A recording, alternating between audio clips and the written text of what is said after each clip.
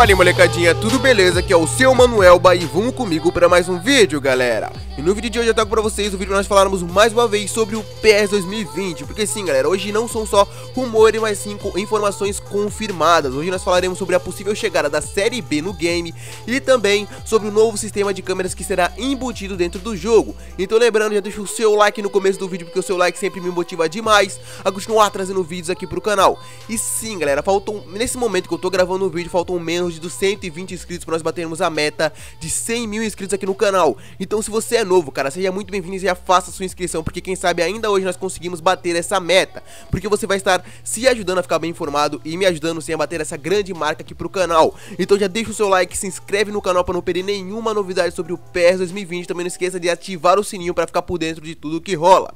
Lembrando que todas as fontes vão estar aqui na descrição, que eu estou pegando esse, essa informação do site do WeBrothers e lá sempre está soltando muitas coisas, muitas informações e muitas matérias relacionadas a Pro Evolution Soccer. Então segue lá ele e dá uma conferida nas matérias deles que também são de muita qualidade. Bom, galera, primeiramente vamos falar sobre o que? Vamos falar sobre o novo sistema de câmeras que será incluído no PES 2020. Isso não é rumor, galera, e sim é informação confirmada. E antes de nós falarmos sobre a Série B, vamos explicar um pouquinho do que, que se passa. Lembrando que essas informações são meio antigas, era para ter saído esse vídeo ontem, só que de forma surpreendente, a Konami se anunciou a DLC 6.0 de PES 2019, que se você não viu, vai estar no card aqui acima. Dá uma conferida de tudo que essa DLC contará. Essa DLC chegará, chegará quinta-feira agora. Então dá uma olhada no vídeo para ver tudo que virá dentro dela, beleza? Bom, vamos ao vídeo de hoje, galera, porque sim, aos poucos a Konami sim começa a soltar as primeiras novidades e sabemos que tão cedo assim começará a sair as informações que não são tão impactantes assim. Mas sim, galera, já temos a primeira informação confirmada, uma das primeiras que é assim sobre o novo sistema de câmeras que o jogo contará. Bom, vai ser uma das novidades muito bacanas que sim o PES 2020 contará assim com um novo sistema de câmeras, muito mais legal, muito melhor e bem mais dinâmico que foi sim desenvolvido e baseado no feedback da comunidade e dos fãs que jogam Pro Evolution Soccer. Porque ao longo dos anos, galera, sempre vimos muitos fãs reclamando sim da câmera que temos disponíveis no PES, e sim, ao que parece, a Konami sim ouviu e irá assim, vamos dizer que mudar isso para a próxima versão do jogo, porque eu vejo muitas pessoas ainda assim é, invejando as câmeras que temos presente no FIFA, porque na minha opinião as câmeras do FIFA são bem mais dinâmicas e são bem mais reais do que as que temos no PES atualmente, porque as do PES são bem arcade, não são bem reais, não dá pra ver que é uma transmissão de televisão aquilo. Então sim, galera, as câmeras são legais, são boas assim de se jogar, mas sim precisa de câmeras melhores, que tenham assim um pouco mais de distância do campo para vocês terem uma visão um pouco mais ampla. E pelo que parece, isso já será incluído na próxima versão do jogo, pessoal. Tudo bem que pode não ser aquela grande coisa, galera, mas é uma coisa muito bacana e bem legal. Porque pelo menos, né, galera, além disso, quem não gostar desse novo sistema de câmeras poderá sim selecionar o antigo sistema de câmeras que temos no PES 2019. Ou seja, eles não mudarão as câmeras e eles não retirarão as que temos atualmente e incluirão novas. Simplesmente eles manterão as que temos atualmente e incluirão novas câmeras. Então será um cartel um pouco mais recheado para quem curte sim ter uma, vamos dizer, uma real atmosfera. Porque sim, vocês terão mais opções de câmeras. Vocês não terão as câmeras retiradas, mas sim mais mais câmeras incluídas. Então isso é muito bacana, uma novidade muito legal. Eu tenho certeza que nós poderemos ter uma primeira ideia quando sair sim as primeiras gameplays do jogo lá na E3. Quando as pessoas assim começarem a jogar o jogo e se vazarem as primeiras gameplays do game, aí nós poderemos ter as nossas primeiras opiniões de como é que essa câmera tá, se ela tá bacana ou se ela não tá. Não tivemos primeiras imagens, fato é, galera, que isso não é rumor, essa é uma informação que foi apurada e averiguada pelo We Brothers, né, pessoal? E sim, ele confirmou que isso é oficial. Então sim, total, total créditos para ele, porque ele foi atrás da informação e eu estou, estou aqui mesmo repassando ela a vocês.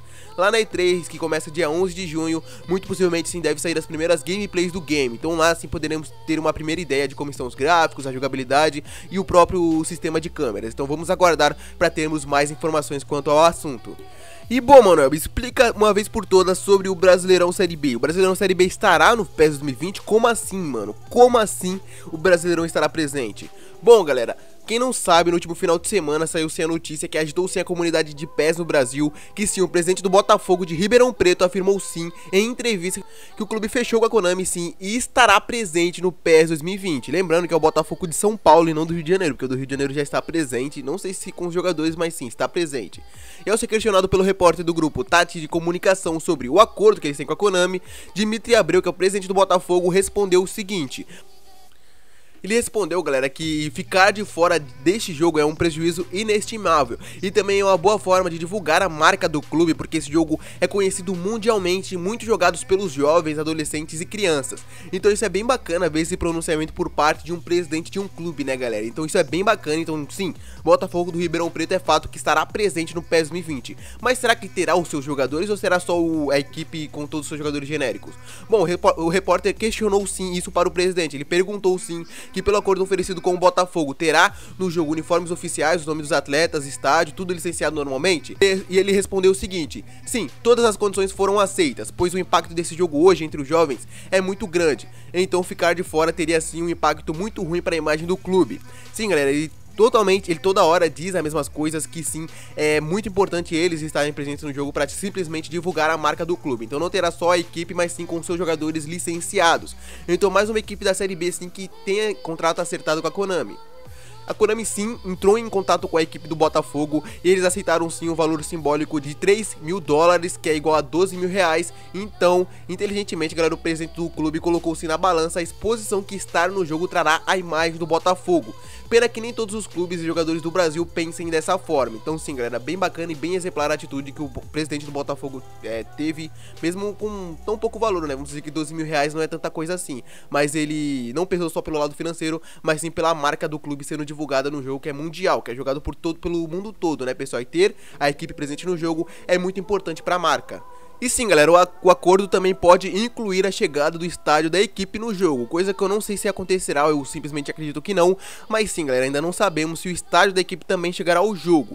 Bom, o fato é que isso pode sim demonstrar muitas coisas que o Brasileirão Série B virá completo com todas as equipes, porque não é muito difícil sim eles conseguirem o licenciamento do Brasileirão, porque eles têm essa parceria com a CBF. O único trabalho mesmo seria licenciar todos os jogadores por causa que aqui não existe o tal do FIV Pro, então assim como eles fazem na Série A, eles teriam que fazer na Série B. Só que é claro que os jogadores da Série B não seriam tão gananciosos assim como são os da Série A, eu tenho certeza que eles aceitariam sim aparecer no jogo tranquilamente.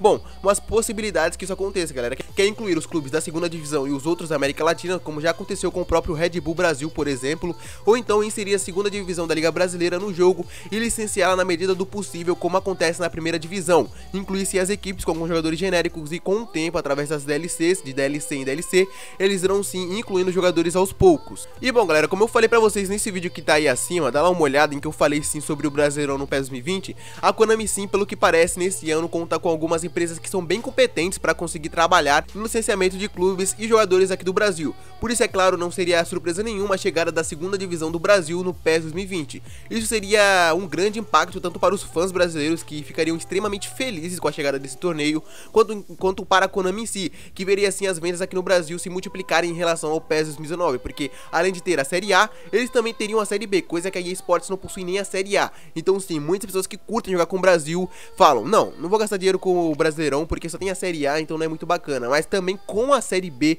e a Série A, os dois inclusos, até a Copa do Brasil também que pode chegar futuramente, mas é um sonho um pouco mais distante. Tenho certeza que muitas pessoas pensariam duas vezes antes de, de trocar o PES pelo FIFA.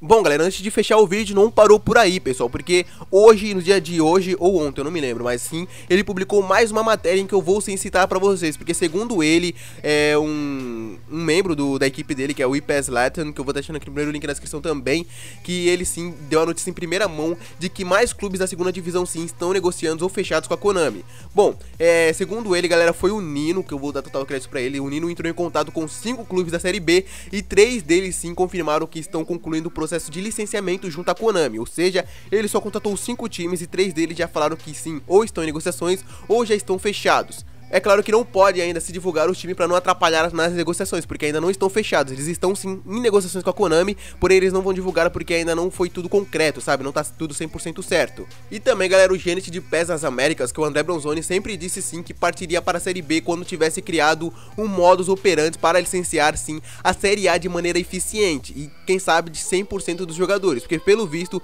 ele conseguiu, mas mesmo assim, galera, dificilmente teremos os 100% dos jogadores do Brasileirão Série A licenciados Isso é quase impossível de acontecer porque aqui no Brasil, para quem não sabe, né, galera, não existe um órgão que concede todas as licenças de todos os jogadores e clubes, como é o caso do FIFA Pro. E é necessário sim a negociação com um a um, pessoal. Então, mesmo assim, mesmo sem as duas divisões com jogadores 100% licenciados, já seria uma ótima notícia para os fãs aqui do Brasil ter sim no Pro Evolution Soccer, porque jogar no Master League com rebaixamento é, no Brasileirão, mano, é uma coisa muito maneira. E as vendas do PES 2020 aqui no Brasil iriam bombar sem dúvida nenhuma, galera. Então vamos esperar para ver o que vai acontecer. Caso é que, fato é que o Botafogo já está licenciado, o RB Brasil eu não sei, porque agora eles se transformaram em RB Bragantino e esteve presente nas duas ou três últimas versões do PES, então eu realmente não sei se o RB Bragantino que joga assim a Série B estará também no jogo, tudo indica que sim, ou seja, pelo que parece, RB Bragantino e também uh, o Botafogo de Ribeirão Preto, sim, pelo que parece eles estarão no game. E segundo a informação que eu acabei de falar pra vocês, pessoal, ele contratou sim cinco equipes da Série B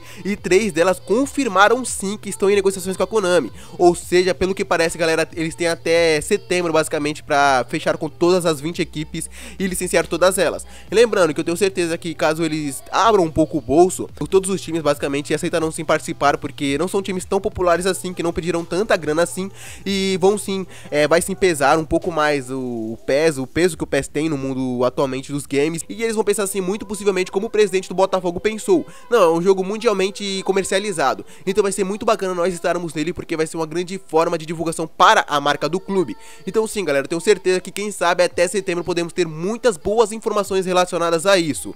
Bom, caso isso não aconteça, muito possivelmente teremos umas seis ou sete equipes do Brasileirão Série B é, lá na, nos outros da América Latina. Isso sendo bem pessimista mesmo, porque as informações que temos atualmente são muito animadoras. Então vamos esperar as próximas semanas para quem sabe termos o anúncio oficial. Coisa que eu acho que só vai acontecer lá naquela World Tour que eles costumam fazer lá perto do lançamento do jogo, em que eles passam de país a país. Então quem sabe lá eles possam sim anunciar a presença da Série B no game. Coisa que eu acho que não é muito difícil de acontecer, porque eles têm essa parceria com a CBF, tem o Campeonato Brasileiro Série A 100% 100% licenciado. Então sim, galera, muito possivelmente sim, podemos ter muitas esperanças que a Série B possa estar vindo no game. Vai ser muito legal ter a Série B do Brasileirão lá presente. Quem sabe a Série C, a Série D, mas isso são coisas bem mais pra frente. O que temos até o momento é a possível chegada da Série B, galera. Então deixa aqui a, sua opinião aqui nos comentários. Será que a Série B aparecerá no game? Será que não aparecerá? Então deixa aqui nos comentários a sua opinião. Não esqueça de deixar o seu like no vídeo, porque o vídeo de hoje foi bem bacana, ficou bem longo, porque eu tentei fazer um vídeo bem completo.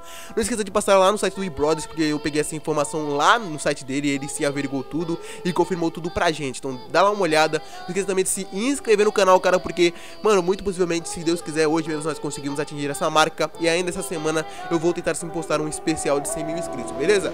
Bom, pessoal, vou ficando por aqui, até a próxima e falou!